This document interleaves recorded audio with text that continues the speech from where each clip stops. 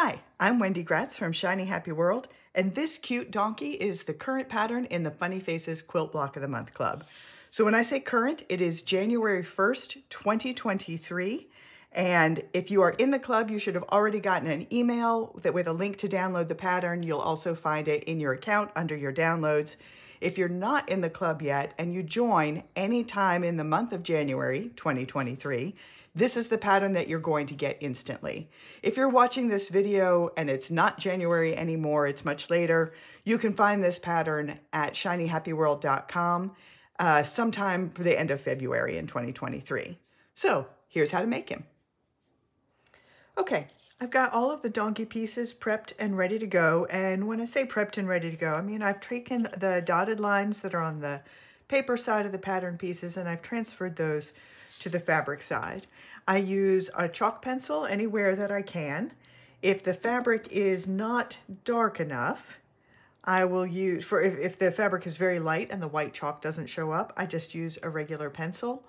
And I also will use a black fine tip pen anytime where I'm going to applique a solid black piece over it because then it doesn't matter that the black line, it's not going to show through.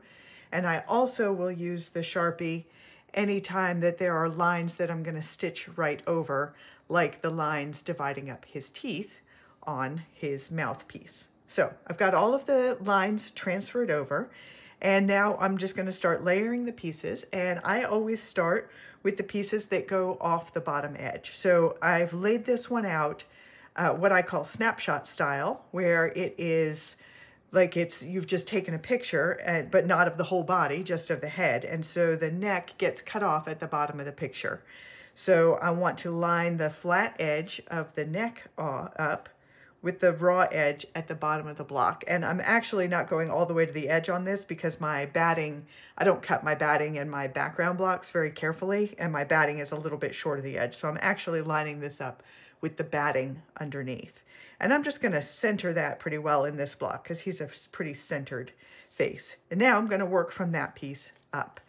So the next piece is going to be his muzzle. And you can see that chalk line that I've transferred. I'm going to lay the muzzle piece until it just covers that. And then I have, I know that I have enough coverage there. So the next piece is going to be the top of his head. And this piece is going to tuck behind the muzzle. So I'm going to tuck it until that chalk line is covered. And now I have some ears and these pieces are all numbered and there is a placement guide that uh, is also numbered and that will show you which piece goes where if you're confused between which ear goes on which side. Sometimes it doesn't really matter, but sometimes it does. And in this case, I do want to get them the way I designed it. So this ear tucks here and the other earpiece tucks on the other side of his head. And he's also got a little mane. So donkeys have a mane that stands straight up. It doesn't flop over like a horse's. It's more like a zebra mane. So we really just see this little bit of a tuft from the front. There that is.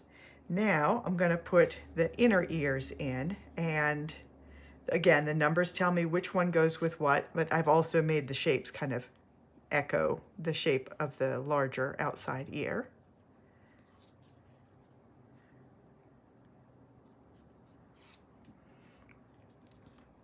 And these also will tuck until those lines are covered. And now I've got uh, his eyes and his mouth. Let's go ahead and put his mouth in place. Give him a little toothy smile.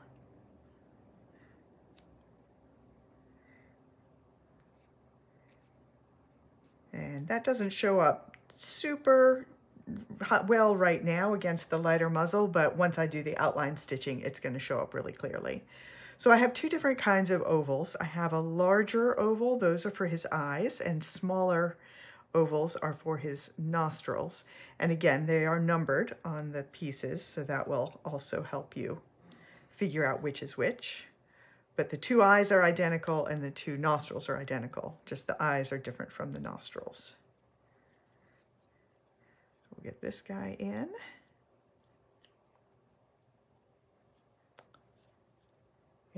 One more.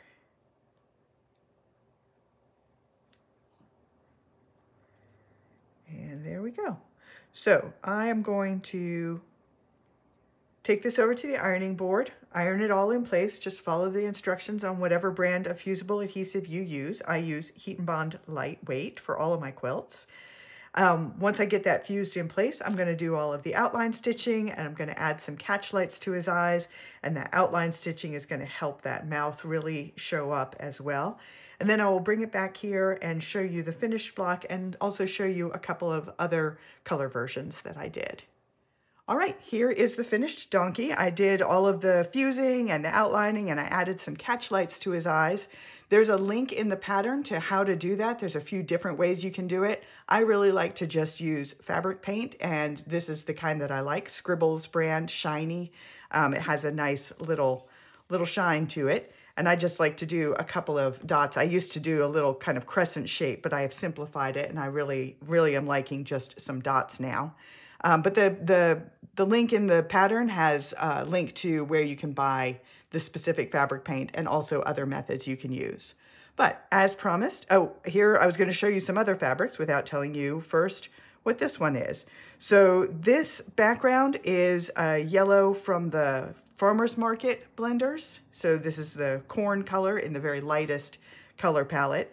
And all of these grays are from the Animal Kingdom blenders, specifically from the elephant blenders. You can also find the more white ones in the salt and pepper blenders. The same ones will just be coated both ways, so you can find them either way. So here's a couple of other color options that I did. So this is a new collection that I'm working on where all of the background blocks are different blenders from the Strawberry Blenders collection from the Farmer's Market um, color palette. So I did a zebra in December that had a much darker pink. Now we've used a lighter pink on this one. And again, all of the blenders that I used for the donkey itself, all of these shades of gray are in the elephant blenders, which are part of the Animal Kingdom color palette. And I've got one more. So this is an ongoing collection that I've been working on where the background blocks are all from the avocado blenders, which are also in the farmer's market uh, color palette. And the donkey, I decided to do a fun fantasy colors donkey. So this one is purple. And um, it is specifically, all of these are from the eggplant blenders uh, collection, which are also in the farmer's market color palette. So all the colors in the farmer's market collection have fruit and vegetable names like avocado, eggplant, strawberry. So that is three color options for the donkey pattern, which is the current pattern in the Funny Faces Quilt Block of the Month Club. That's January 2023. I'm Wendi from Shiny Happy World, and I'll see you next month.